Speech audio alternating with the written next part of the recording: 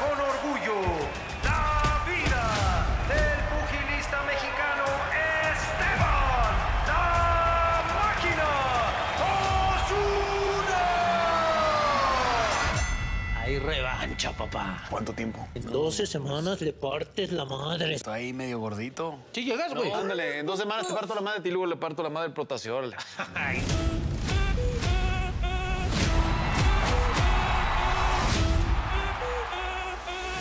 Eres mi mejor amigo. Ven para acá, tenemos que celebrar, cabrón. Andy puede estar loco, pero es bueno en lo que hace. Son un buen equipo. Saúl, está hasta la madre. No, no. Esta es mi última pelea. Y ha sido demasiada chinga, demasiado sacrificio. Algo más grande está en juego, más que el box. Una más. Hacer historia, cabrón. Vamos. Habla quién me habla. Bueno.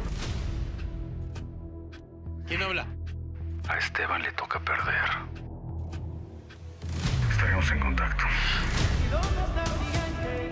Nos están viendo esta gente. ¿Cuál gente? Los que le juegan a ser Dios. Se los advertimos. Pero ya nada más es esto. Ah, ¿y si no quiero qué? Pues no morimos, ya. ¿Cómo que nos morir?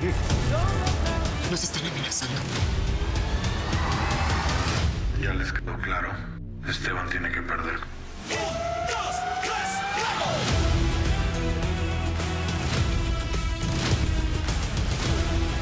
No solo lo digo por mí, sino por mi familia. Hijo, ya tienes que soltarlo. Es mi mejor amigo. Y si nos va a cargar la chingada, pues que nos cargue juntos. es la máquina? Es la máquina. ¿Regalas una selfie?